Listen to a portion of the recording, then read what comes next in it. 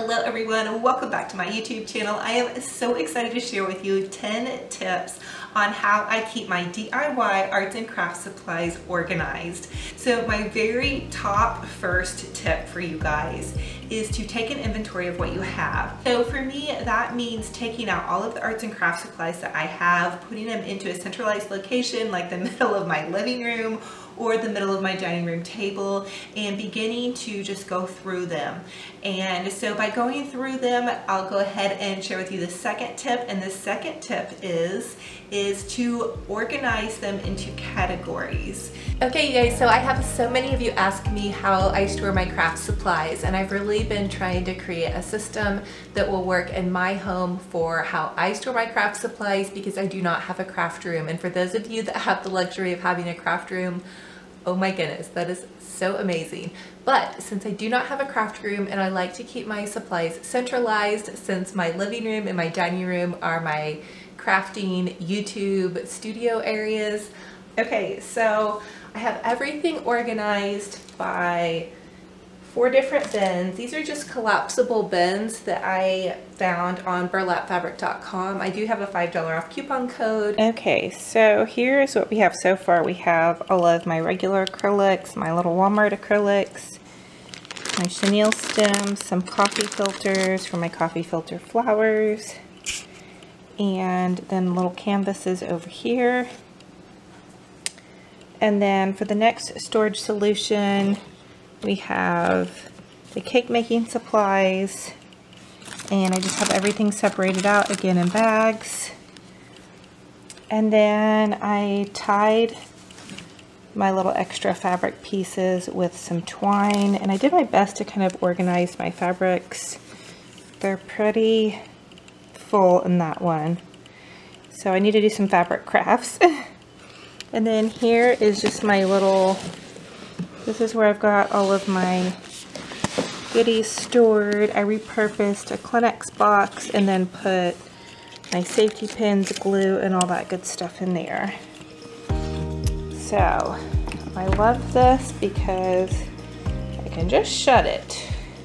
Now I'm going to share with you guys. Okay you guys, so here's where I store all of my craft supplies. You can tell this closet, I've really been working on decluttering it. This is our coat closet, but I just have two totes for all of my Dollar Tree crafting supplies.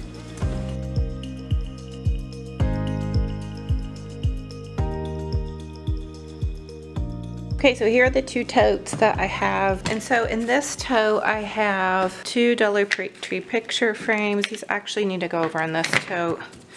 But I just have a glass vase. And then I have this wire heart form I have another wreath form. I have a ton of deco mesh, so definitely look for a deco mesh DIY coming up. I have some of these flower garden planners. I love these. Florals, these are just like bits and pieces of florals stored in here. Um, styrofoam, you know, wire, different little like eggs and different things I would use, you know, more for detail work, I guess you would say. And then over here I have the springtime moss. And then I have more foam and then just some of these flower planters. If you guys can see those. Oh, okay. So that's what I have in here. Okay, and in this tote I have signs my beach stuff for when I want to do nautical decor. The second tip, and the second tip is to organize them into categories. So for my arts and crafts supplies, I have categories of DIY Dollar Tree supplies.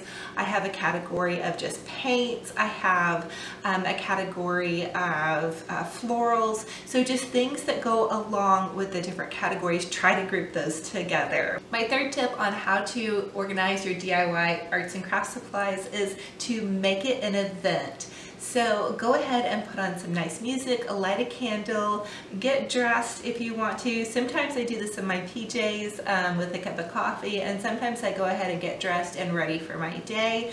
Um, but make it a special time. Set aside that entire day or afternoon or maybe weekend or if you guys are like me, you need several days to get your crafting supplies organized and under control to find a great system for it. So this is actually a decluttering process that I'm going to work through in part of my summer series, but make it an event. Um, the other thing as part of making it event is um, make sure that whatever room you're decluttering in is clean. So I like to go about and actually get my house ready for the day. Go ahead and tidy up that space before I begin to declutter the arts and craft supplies. So if you're doing this on your kitchen table, clear off everything in your dining room. If you're doing this in your living room, go ahead and tidy up your living room.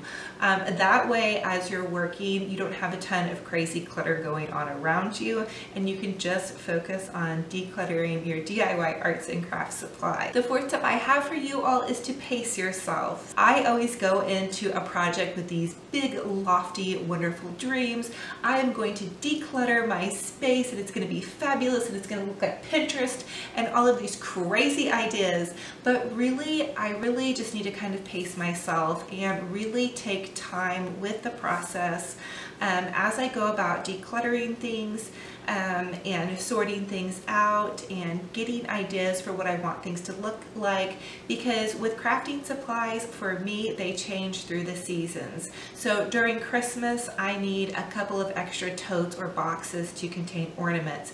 But during the summer I don't have quite as many large items um, to work with. So I may need some smaller totes. So definitely pace yourself and try to give yourself grace as you go through the process. So my fifth tip on how to get your DIY arts and craft supplies under control is to shop your house. You would be amazed at how many boxes and storage containers that you already have.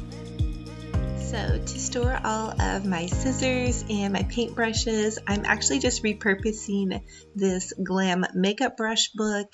It came in this pale pink, which you all know that I love. And so I just cut the center pocket out and then I worked on fitting all of my scissors and my paintbrushes and just all the little tiny craft supplies that I need to do my DIYs. And then I even put my Glam Pink glue gun in there. It doesn't have a spot really that fits in there perfectly, but um, I just felt like this was a really fun way to repurpose and reuse a makeup brush book because really I just keep my makeup brushes out and this glam book was just kind of left in a cabinet and I thought why not let's go ahead and use it for something awesome and cute like my craft supply storage. And so with crafting supplies, because they're constantly changing, I really love to use things that I already have on hand. Find ways to repurpose and reuse storage containers that you already have and um, you can even get creative and look in your kitchen. I love to use the bottoms of cereal boxes to kind of um, break up and categorize things and, and so that is my fifth tip is shop your house. My sixth tip is to start a little blessing box or bag. So if you're a crafter and maybe you have another friend that loves to do arts and crafts or maybe you have a grandchild or one of your kiddos likes to do arts and crafts, you can start a little blessing box. And I know that people have blessed me with arts and crafts supplies and so I love the idea of passing things on because like a lot of times we get so many crafting supplies, especially in different categories, that we need to kind of take some of those and pass them on to someone that might enjoy them. And this can also apply to home decor. So if you guys have a lot of different home decor, maybe you have too many things things. You can start a little box to bless one of your friends. It's such a wonderful thing to bless someone else. It really can bring a light to somebody's day. Maybe somebody that can't craft anymore or who loves to decorate or just passing something else on that's made with love is such a great way to repurpose and reuse the crafts that you've already made Number seven is to go ahead and make some list of some of the crafting projects that you may want to do. So as you've gone through and organized all of your crafting supplies, you're getting them ready, you're shopping your house, you're putting them into some different kind of containers, you can write down a quick little list of some different ideas that you might have. So maybe you want to make a wreath for the summer, maybe you want to make a garland for Christmas. So by making this list, it will help you keep in mind some different things that you may need to pick up or different things that you want to set aside for these projects.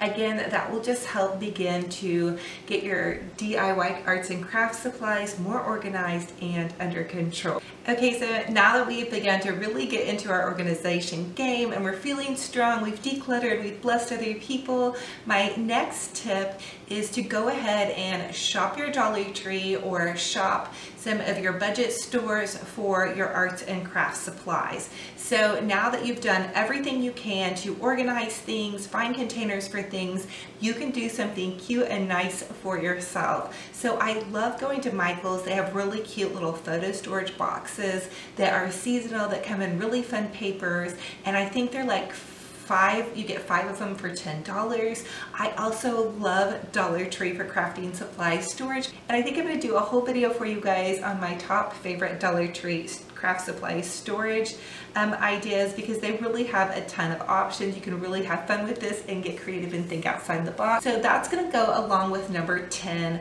for my last tip is to do something aesthetically pleasing for your organization. As you guys can see with my craft storage, I used a white cabinet with a pink flip top lid.